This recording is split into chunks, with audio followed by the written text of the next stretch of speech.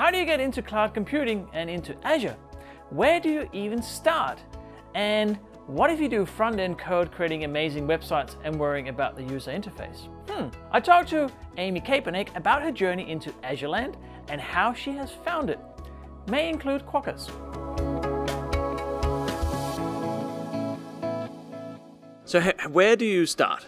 Like how, how do you actually get into using Azure when you have a say a project like you had an idea? Um, how do you know where to start? Well, I didn't really know where to start, so I spoke to people who knew a lot more about Azure than I did, mm-hmm. which which is basically anybody who's used Azure.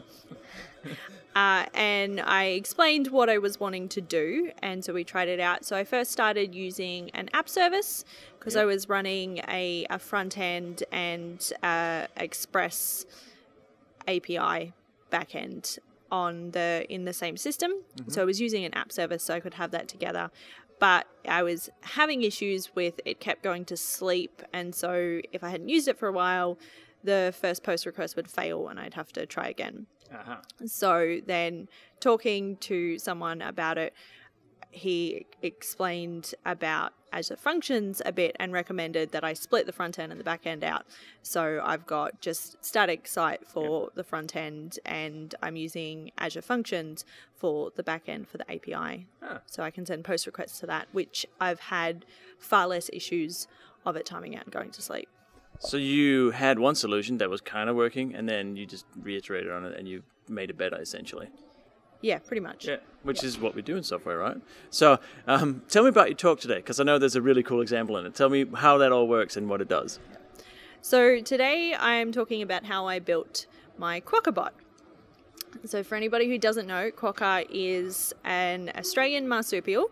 That's one right here native to Western Australia and is pretty much only found on an island off the coast of Perth called Rottnest Island. Uh-huh.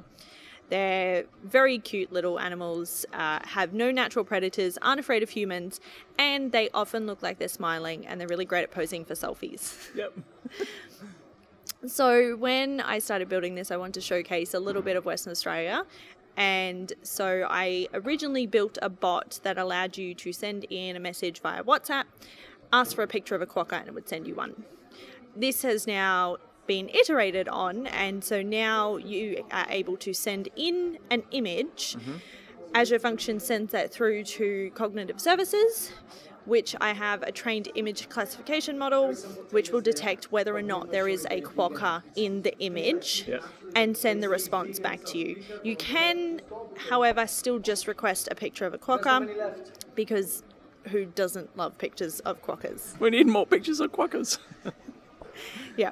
So I, am using both Azure Functions and the Azure Cognitive Services for that one, as well as the Twilio Communications APIs.